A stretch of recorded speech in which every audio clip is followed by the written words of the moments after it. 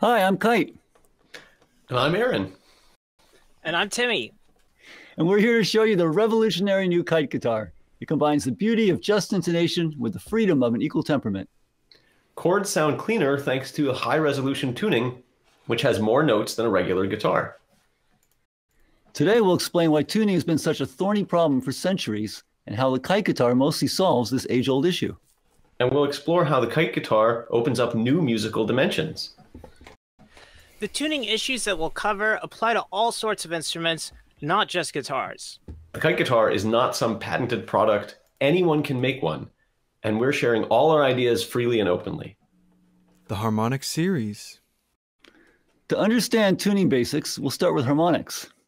Any vibrating string includes within it a whole set of pitches called a harmonic series. Here it is on low E on a standard guitar.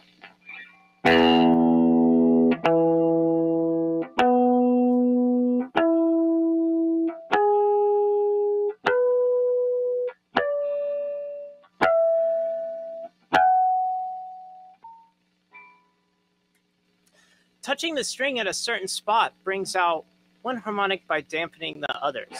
The harmonic is still there in the open string whether I isolate it or not. I'll play the open string and touch it after.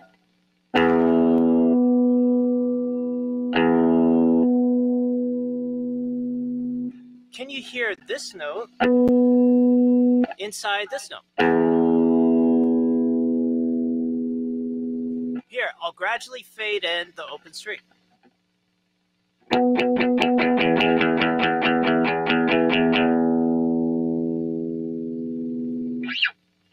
Each step of the harmonic series is different.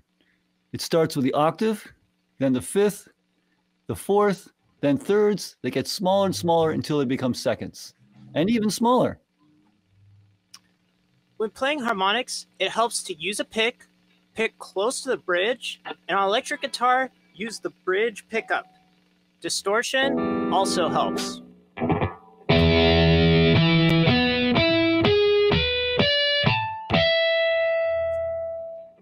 On most guitars, frets are placed according to 12 tone equal temperament, the standard tuning for modern Western music. But there's a problem it's not quite in tune with the harmonics.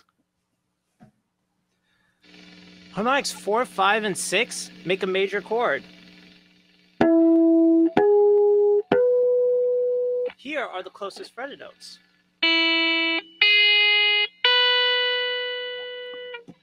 The fretted pitches are close, but notice the major third in the chord. That's harmonic 5. The fretted note is slightly sharper than the harmonic.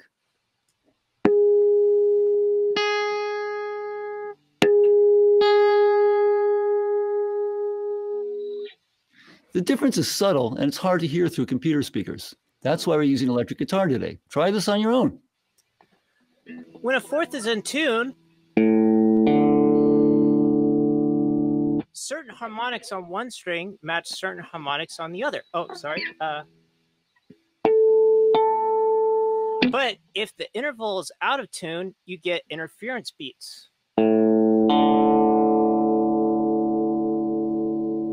These are caused by the harmonics not exactly lining up.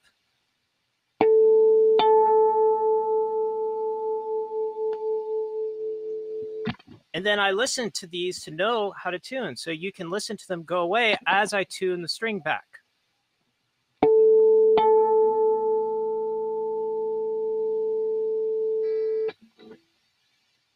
That's the fourth. Let's look at a major third.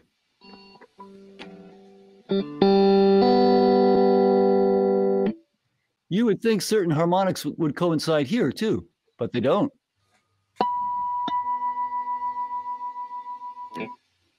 And when you play the two strings normally, you can still hear those interference beats.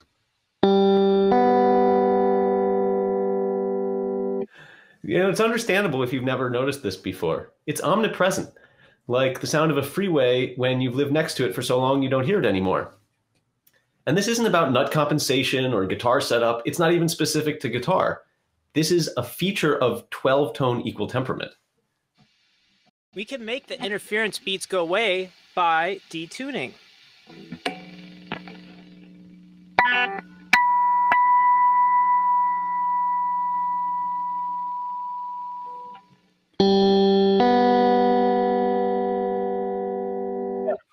When all the harmonics line up like that, that's called just intonation, or JI for short. It feels smooth and relaxed. We can play the same interval in standard tuning by using a string that we didn't detune and that will feel more tense.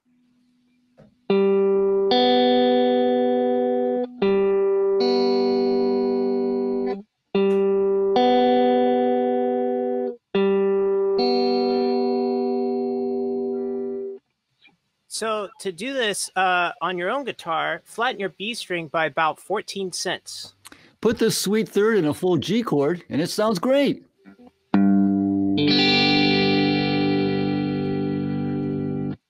So let's compare standard and just.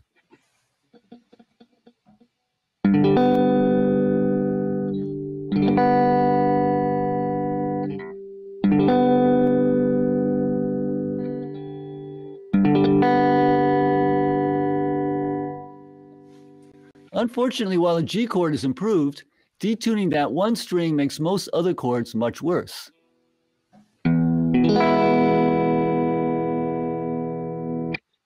Now the E chord has a bad fifth and a bad octave. So for the sake of these other chords, we have to settle for a rougher G to B interval. And that's why it's so hard to tune a guitar by ear. You can't get all the chords in tune at the same time. But on a kite guitar, it matches, the harmonics are much more close to the fretted notes. The fretted notes are closer to the harmonics. So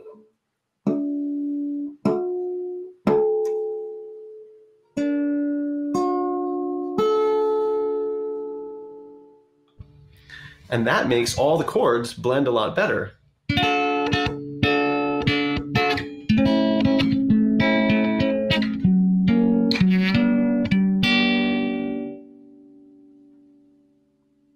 By the way, the layout of a kite guitar is not the same as a standard guitar. It's usually tuned in all thirds. And we'll talk more about that later. So what about fourths and fifths? They're already quite good in standard tuning.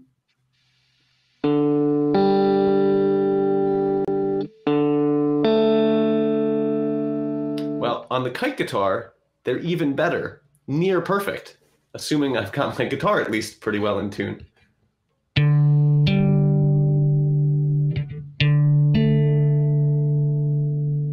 Harmonic 7. So let's go further up the harmonic series. The next harmonic is the seventh one.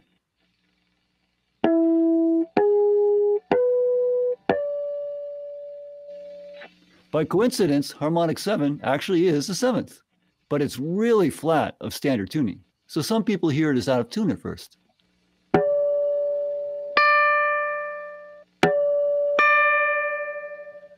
Let's add the harmonic 7 to our G chord. We already detuned the B string by 14 cents. Next, detune the high E by 31 cents.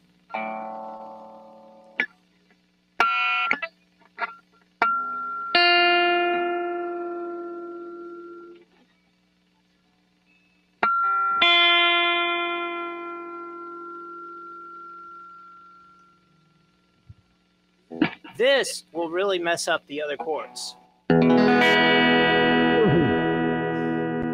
Ooh. But now our G7 matches the harmonic series.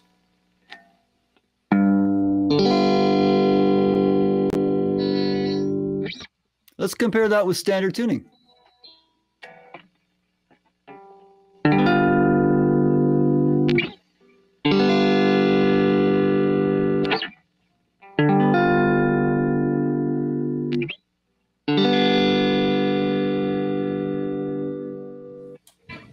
Notice how that rather flat seventh makes the chord smoother. So the dominant seventh chord in standard tuning feels tense because both the third and the seventh are out of tune with the harmonic series. And that is one reason why classical music theory teaches that dominant chords need to resolve to a simpler chord. And like the third, the seventh on the kite guitar is really well tuned.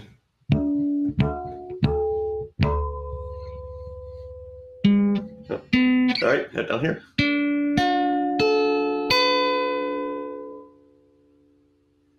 And so that more relaxed seventh chord has less tension and less need to resolve. But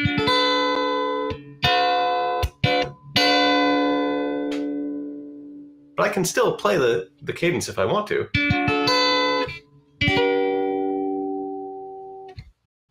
Again, it can take some time to get used to that seventh. For a more traditional sound, you can stick to the intervals found among the first six harmonics. Harmonic 7 has a more novel sound. Some people get used to that new sound right away, but if you still feel uncomfortable, just keep an open mind. It might grow on you. You can hear that seventh sound in barbershop harmony and some African music. It works particularly well in a blues context where it's normal for a dominant seventh chords not to resolve.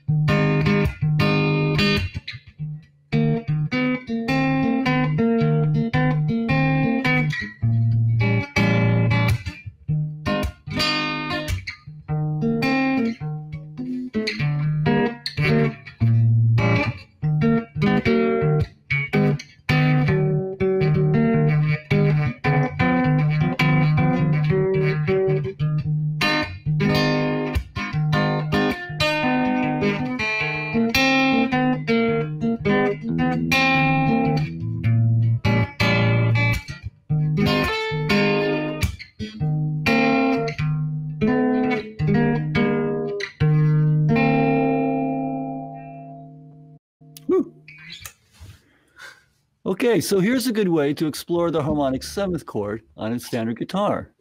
Get the E7 chord really in tune by detuning the second and third string.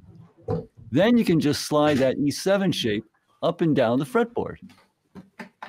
Okay, so I'm going to take this shape, which is a familiar seven chord, and I'm going to detune like this. There's the third, and here's the seventh.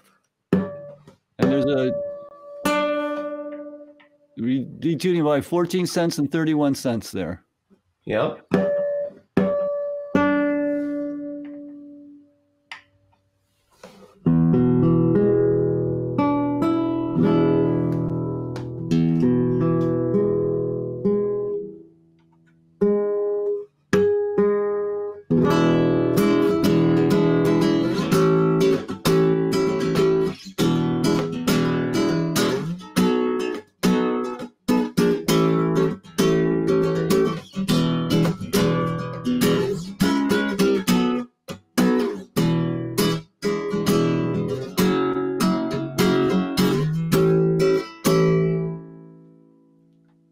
This is a great sound, but it's kind of a one-trick pony.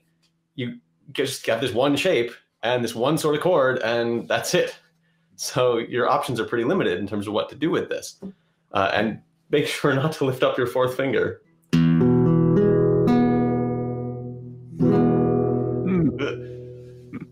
Uh, there's other ways to access that nice blended seventh sound. You could tune it to it all open strings and use a slide. You could get the harmonic seven by going back a fret and bending up.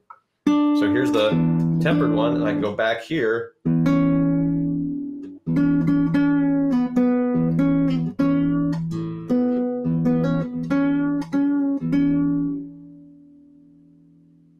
Each of these has certain limitations, but it's a great sound that lets you start exploring. And I really find there's something just almost peaceful and meditative about these nice JI chords. Distortion and difference tones. So here's a power chord in standard tuning.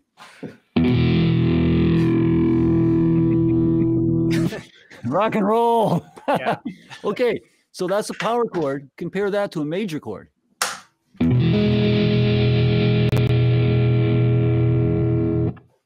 Or a seventh chord.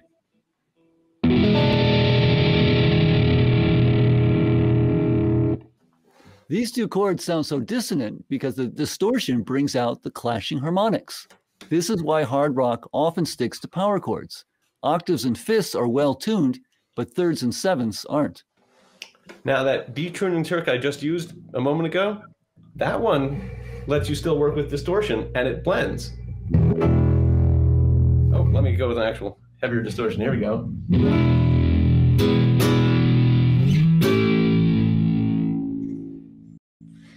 So there's more going on than just harmonics. Playing any two notes at once creates what's called a difference tone. For example, 300 hertz and 200 hertz make a 100 hertz difference tone. These tones are present on all instruments. They're usually quite faint, but distortion really brings them out.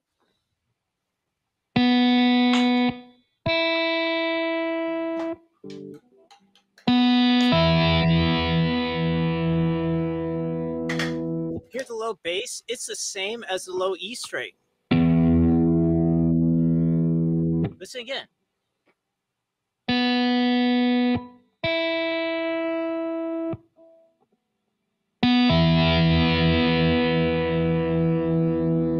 The low E is there, but I'm not playing it. The B string is harmonic 3 of that low E, and the high E string is harmonic 4. The difference of 3 and 4 is 1, so we get the first harmonic, the fundamental. So uh, check this out.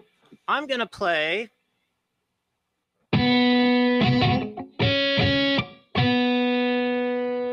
With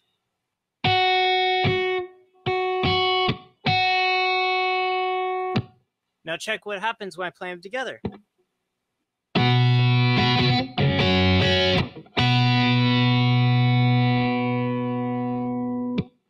So can you hear when my lower note goes up a second, my mm-hmm. new bass line goes down a fourth?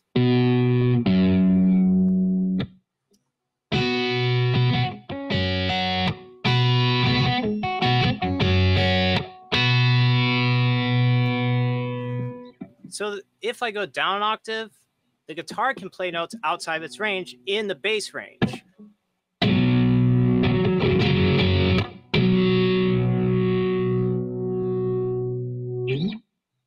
So because fourths and fifths on a standard guitar are so well tuned, like that's how this works so well.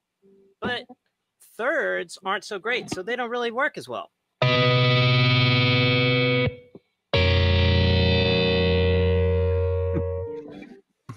Okay, so on the kite guitar, this is an electric version, six strings. Uh, thirds are actually pretty close to harmonics, so they can work with full distortion. And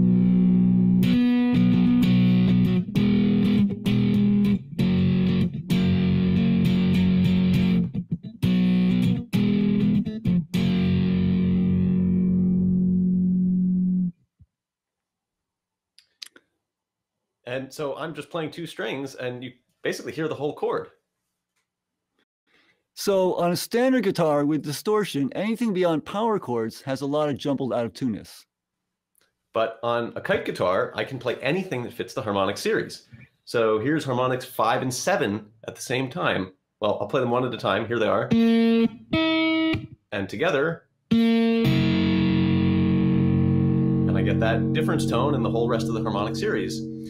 And because it's the entire thing, if I play different parts of that same harmonic series on the guitar, it just emphasizes different parts of the mix.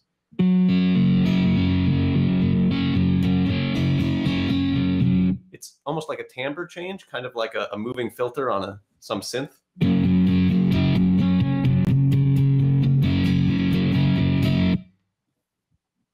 Again, if you're still finding the seventh harmonic strange, you got to admit it makes the chord work better.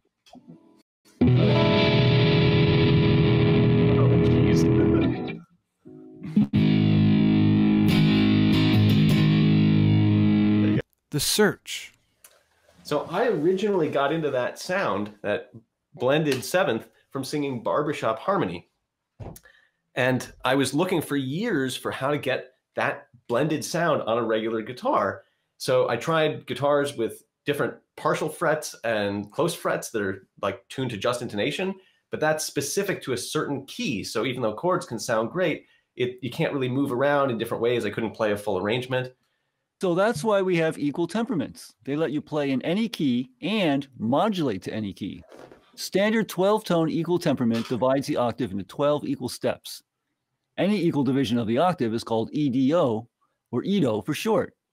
So 12 equal is also called 12 EDO. And in EDO, all intervals are the same in all keys. And that certainly has advantages But with the best ones like 19 Edo and 22 EDO, those are close to JI, but some intervals are better than 12 and some are worse. And 31 is a pretty good one, but the fifth is noticeably flat and it's a lot of frets, 31 frets, kind of, uh, that's a little intimidating. Uh, and, you know, I ended up getting a fretless guitar and that is works great. You can play anything and I can get in tune. It's great for melodies.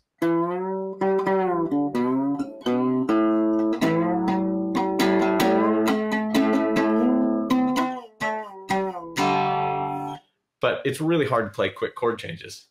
So I thought what I wanted to do, play really blended barbershop chords on a guitar, was just impossible. There was just trade-offs no matter which way I looked. But this can do it. Here it is. Speaking of barbershop, give me that sweet, sweet harmony. Ah.